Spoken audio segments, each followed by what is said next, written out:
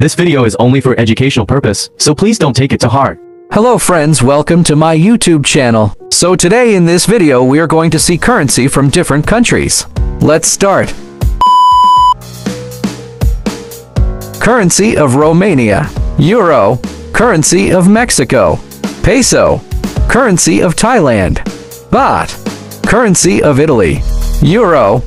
And so on.